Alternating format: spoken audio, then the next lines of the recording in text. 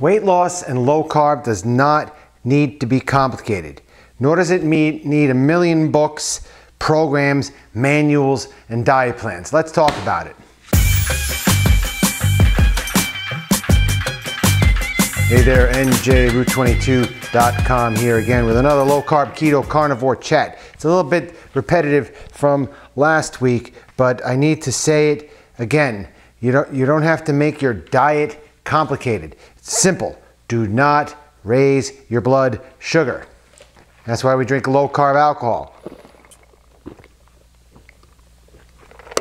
Read some of our previous blogs, vlogs to understand that uh, you know we don't really think alcohol makes a difference anymore.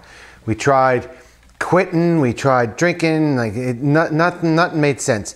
I think just a little moderate physical activity. If you don't feel like going to the gym, getting out and moving your body is all you need, along with your low carb, keto, I forget keto, low carb or carnivore diet. Um, and a lot of things that have, you know, we talked about last week, we talked about our 10 year then and now and all the things that, that uh, we talked about saying, you know, oh, you can have a little bit of sugar and, you know, don't don't spike your blood sugar. And like I remember some of the earlier books I read said, oh, don't eat more than 50 grams of carbs per meal. Holy crap!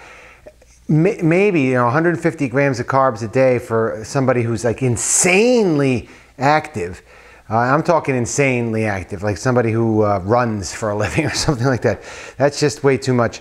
Um, our personal experience based on our body weight, which is you know around 200 pounds, is much less than that. It's usually uh, under 20 grams per sitting, probably even less than that, uh, under 10, single digit carbs usually. Um, and, and, I'm telling you, it doesn't matter. Even if I eat 10 grams and then if I eat a meal 20 grams of carbs for some reason, I'm absolutely guaranteed I notice the hunger more than when I just eat plain meat or zero, absolute zero net, zero, not even net carbs, just zero carbs, no fake sugars or whatever those things are. Fiber, fiber makes me feel funny too. Don't fiber's overrated. Look that up. Um, yeah, and and those breads, pastas, and fruits, uh, it, they just uh, man, you can feel it when you've been zero carb for a long time. You feel it. It's like injecting like morphine, like like uh, adrenaline in somebody's body. It's really crazy. But one thing um, that's that's getting me a little bit these days is fruits because I remember there was I was zero carb for like six straight months, and I tried an apple, half an apple. I, we went some apple picking place. I'm like, oh, let me, let me have this for the experience. My heart like beat out of my chest, um, and that stuck with me because nowadays we have uh, three young kids, and when you give them apples, it's not even like crackers or candy. Like we don't give them any of that stuff too much. Uh, one small trial size uh, Milky Way at, at uh, at Halloween and nothing really bad happens. When you give them apples, like you tend to over give them apples. One kid may eat a whole apple and I swear that it, it goes, it makes them nuts. They turn into little maniacs. And it's like Dr. Frankenstein, you know, it's like, ah, my creation has come alive, except it's not good.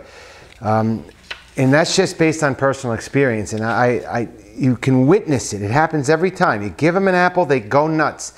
Why is that? It's, uh, it's crazy. I mean, they're just kids and I'll, I'll, let them burn it off. But you take 30 or 60 or 90 days off from all carbs. Try a zero carb diet for 90 days. Be strict about it. Don't raise your blood sugar and go through those two week or four week keto headaches and like, like you're all lethargic. You feel like you're going to pass out. Um, never go to the banana. I remember I did that the first couple weeks of my low carb 10 years ago. I'm like, oh man, I feel like I'm going to fall on my face and oh, uh, eat a banana, and that was like 75 grams of carbs.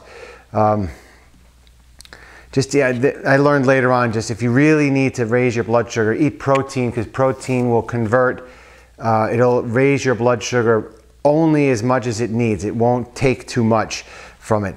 But uh, you'll see. I mean, once you experiment and, and, you realize what works, and you can repeat that experiment with success, it's it's amazing. But I, I need to elaborate here a little bit that uh, I'm talking about don't raise your blood sugar, and that's so simple. If you can follow it, I mean, uh, human nature is that you will want to, to, to you know, bring back your old foods and, and you're going to make mistakes. And I think it's kind of okay to make mistakes. You almost need to make mistakes. So you, you get like your own data, not just data you read. You get physical data. It's like your own computer database inside your body and your brain. I don't know. I think uh, when you experience failure and you can correct it and you want to correct it on your own, um, it, it lasts a lot longer than reading in a book and following it because it's hardcore at that point. It's rock solid. So if you have any questions, just email us, njroute22 at gmail.com or comment in the, in the comment section here on YouTube or go to my blog, njroute22.com. And that's it. If you liked the video, hit the bell, the subscribe, and all that nonsense, and I'll see you next video.